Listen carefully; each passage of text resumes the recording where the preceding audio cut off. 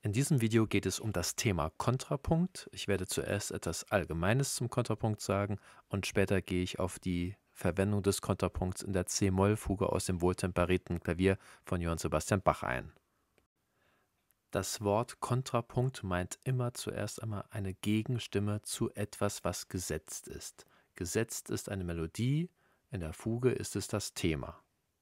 Der Kontrapunkt ist entstanden zu einer Zeit, als es keine Akkorde, keine Dreiklänge oder ähnliches gab. Man hatte bloß einstimmige Melodien, das waren die Kirchenchoräle, die als Cantus firmus, als fester Gesang immer gesetzt waren, die durfte man nicht verändern. Im Laufe der Zeit wollte man diese Gesänge aber trotzdem ein bisschen ausschmücken und schöner machen und eine Möglichkeit war eben eine zweite Stimme hinzuzuerfinden. Das war lange, lange Zeit war das Trial and Error. Das heißt, man hat einfach versucht, ob der Ton, der dazu gesetzt wird, passt oder nicht. Und daraus haben sich dann im Laufe der Zeit die Stimmführungsregeln und die Harmonien entwickelt.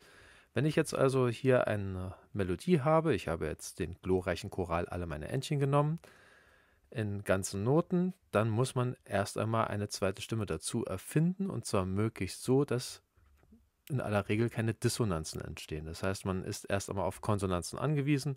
Das heißt, zu dem C1 werde ich erstmal hier eine Oktave setzen und dann hier geht es ein bisschen abwärts. Und das ist jetzt nicht besonders schön, was ich mache, aber es ist erst einmal richtig. Das hört sich dann so an.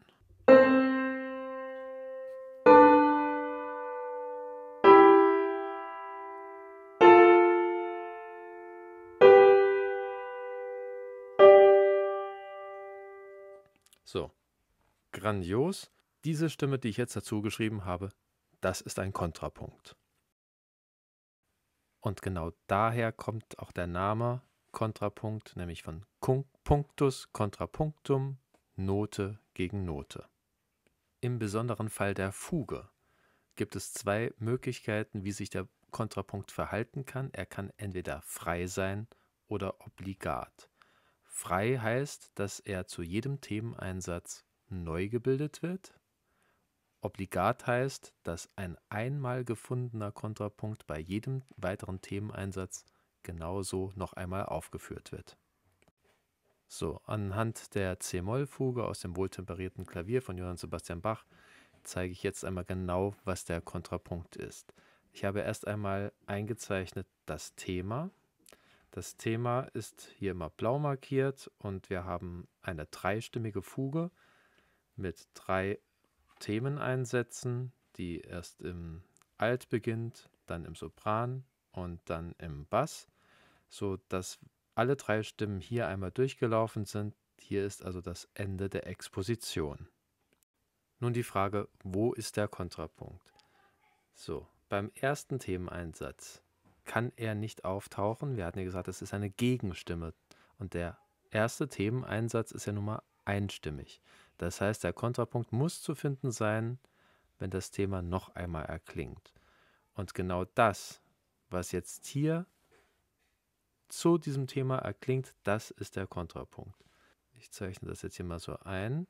Und man sieht, dieser Kontrapunkt ist sehr charakteristisch, denn man sieht, wir haben hier eine Tonleiter in Sechzehntel, komplett von C zu C fallend.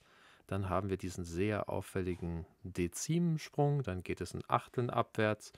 Dann gibt es hier so eine kleine Wellenbewegung. Hier gibt es den Tritonus, sodass wir hier herauskommen. Genau mit dem Ende des Fugenthemas endet ja auch dieser Kontrapunkt.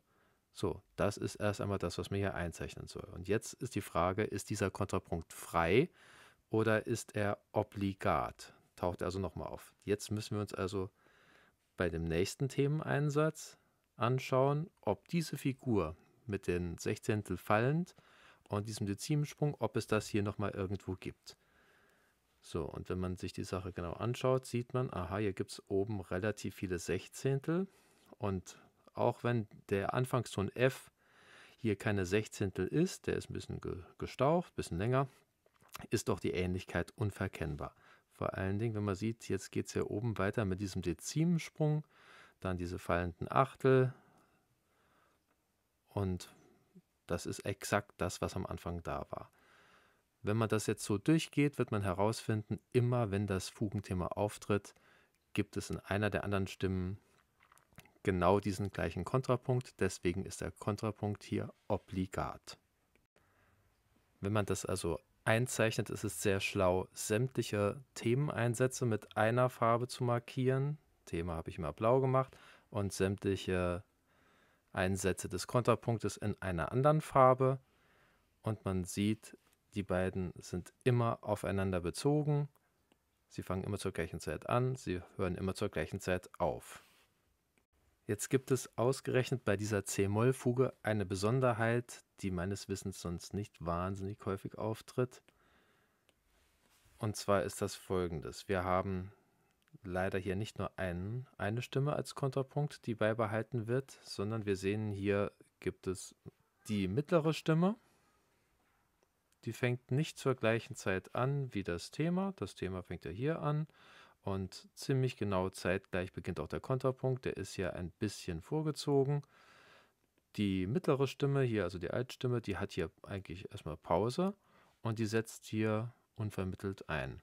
Das Merkwürdige ist jetzt, wenn man sich diese Struktur anschaut, wir haben drei Achtel fallend, Pause, drei Achtel fallend, eine Achtel mit zwei Sechzehntel, eine Terz, also insgesamt so eine Abwärtsbewegung, aber wichtiger ist, glaube ich, die rhythmische Bewegung. Drei Achtel, Pause, drei Achtel und hier diese Sechzehntel. Wenn man sich jetzt die anderen Parallelstellen anschaut, dann wird man feststellen, dass das auch auftritt. Das heißt, wir haben hier drei Achtel fallen, dann die Pause. Jetzt gehen diese drei Achtel hier aufwärts, aber es sind immerhin drei Achtel. Es gibt diese Sechzehntelbewegung und wir werden an den anderen Beispielen sehen, zum Beispiel hier gibt es ja die drei Achtel, das wird auch beibehalten. Ich werde das gleich im, auf der nächsten Seite weiterzeichnen. Der Gag an der C-Moll-Fuge ist, es gibt zwei obligate Kontrapunkte. Das ist aber ein wirklicher Sonderfall. Ich zeichne die hier mal gerade ein. Wir sehen immer, dass das Charakteristische erhalten bleibt. Das Charakteristische ist diese Achtelstruktur mit der Pause und hier die Achtel mit der übergebundenen Sechzehntel. Und am Ende sehen wir, klappt das nicht mehr so ganz richtig. Hier lässt er sich so, ja, da kann man das mit ein bisschen gutem Willen, sieht man hier noch die drei Achtel, das hat er einen durch, könnte man sagen, gehen drei Achtel wieder weiter. Die Sechzehntel fehlen hier.